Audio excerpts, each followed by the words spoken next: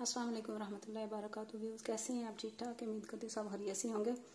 ये मैंने सोचा कि आपको आड़ू का जो बीज है वो निकाल के दिखाती हूँ, किस तरह निकाल के उसको लगाया जाता है। बिस्मिल्लाहिर्रहमानिर्रहीम।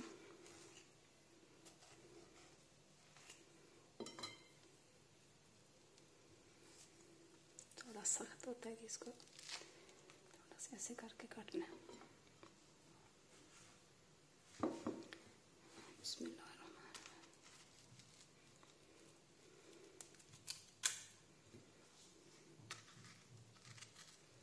इसका छिलका थोड़ा जो जो, इसकी अंदर से ये गिटक है, ये थोड़ी साथ साथ चिपटी होती है साथ। इसको इस थोड़ा साफ़ करना पड़ेगा। और ये भी आड़ू है। बिस्मिल्लाह।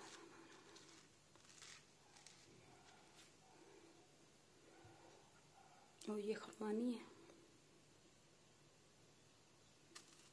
येलो कलर की पहले मैंने लगाई है। माशाल्लाह इतना बड़ा पौधा हो गया वो भी। इस तरह इसकी गिटली निकल आती है ये आसान होती है निकलने गिट इसकी। बिस्मिल्लाह। ये थोड़ा मुश्किल होता है।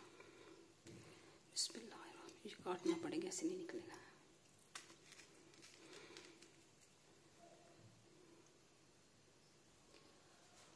भी इसको इस तरह करके इसके अंदर डाल के तोड़ना बिस्मिल्लाह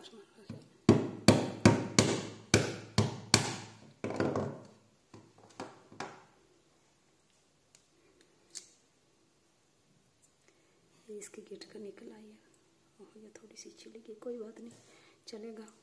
इंशाल्लाह, देखो कितना बड़ा था ये आड़ू और छोटी सी गिट निकली है इसके अंदर से।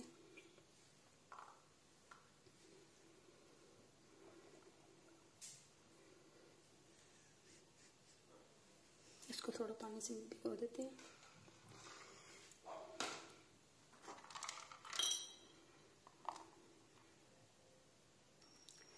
अब ये जो घिटक है, मैं इसको ऐसे गमले के अंदर लगाने लगी हूँ। बिस्मिल्लाहिर्रहमानिर्रहीम। थोड़ा सा इसको एक इंची सरा नीचे करके रख देंगे, इंशाल्लाह। जैसे ही ग्रो होगा तो फिर मैं इसकी वीडियो आपको शेयर करूँगी।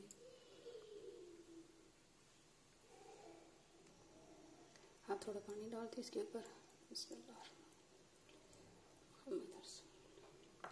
जैसे ग्रो होगा, फिर मैं वीडियो ज़रूर शेयर करूँगी। मेरे चैनल का नाम है परदेसी प्लांट और मेरी वीडियो को लाइक कीजिएगा शेयर कीजिएगा, दुआ में ज़रूर याद रखिएगा और मेरे चैनल को भी सब्सक्राइब कीजिएगा। इंशाल्लाह जैसे ही पौधा निकलेगा, बड़ा होगा तो फिर मैं आपको वीडियो शेयर करूँगी। अल्लाह हाफिज़। अल्लाम वरहमल वर्का